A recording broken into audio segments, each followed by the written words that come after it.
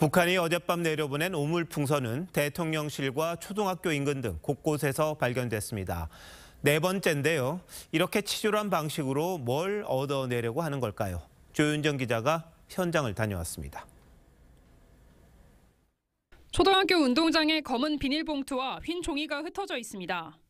건물 지붕 위에도 종이 조각들이 나뒹굽니다. 오늘 오전 7시 20분쯤 북한이 날려보낸 오물풍선에 들어있던 내용물이 서울 중구의 한 초등학교에서 발견됐습니다. 걸음은 없었고 종이 쓰레기 조각들이었습니다. 학부모들은 위험한 물질이 들어있거나 풍선이 터져서 아이들이 다치지 않을까 걱정합니다.